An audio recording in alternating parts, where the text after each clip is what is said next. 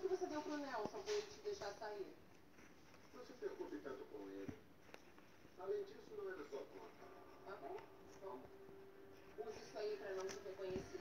Mentira, não. Por que não fazemos isso?